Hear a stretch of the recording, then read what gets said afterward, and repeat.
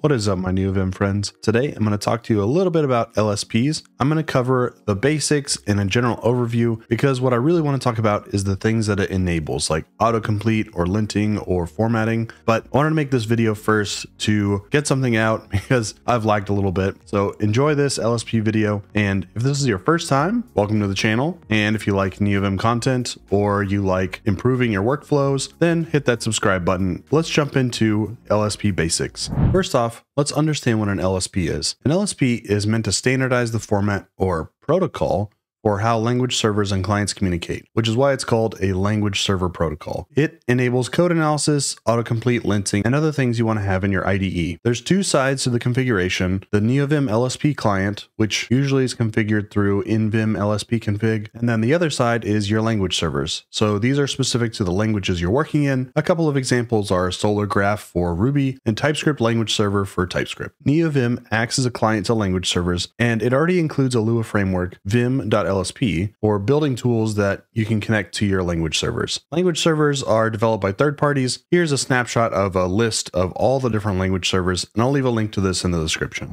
There are several options for configuring NeoVim to use a specific language and setting up the client. The first one, if you wanted to start with the absolute basics, all you need to do is something like this, where it's vim.lsp.start, give it whatever server name you want to call it, and then the command that you want to execute, and hook it up to the root directory of where the LSP is installed. Then you would just need to hook up an auto command. If you don't know anything about auto commands, check out this video in the top right that I've linked where I cover them. Otherwise, you want to set up this auto command to give you some of the key maps or other configuration things, and check to make sure that your language server actually has those capabilities first. If you wanted to get by with the absolute basic config, like I mentioned before, you'd use nvim LSP config and set it up something like this. And then whenever you launch NeoVim and have some of those files open, it'll automatically start the LSP. Note that you will have to manage those language servers outside in a different process, but I'll cover that in just a second. What I started out using is LSP zero, and this has a batteries included approach where it has a collection of functions that'll help you set up NeoVim's LSP client and then get those IDE like features with very minimal effort. It basically packages up all the different things that you need, like some of the autocomplete stuff and also the NVim LSP config, and Mason. So you don't have to figure it all out yourself and you can get this option up and running very quickly. If you're only getting it for the managing of the language servers, then it's probably too much for you. And there's a section on this page that I'll also include in the description. Generally, this is what the config looks like, can get you up and running very quickly. All right, we've talked about one half of it, which is setting up the NeoVim LSP client. Now let's talk about the other side, which is the language server. Now you could certainly install language servers manually using something like npm and some commands that look like this, but generally the preferred option is to use Mason. That way you can configure all your language servers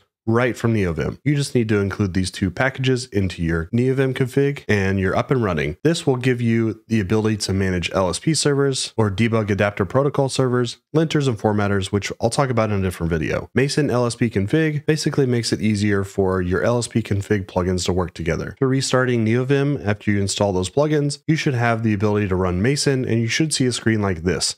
Now you can install and manage all of your language servers yourself. Now, if you've set up your LSP client and you've set up your language server, then you should see something like this where you've set up a key map to use something like capital K, which will hover over an item and give you information.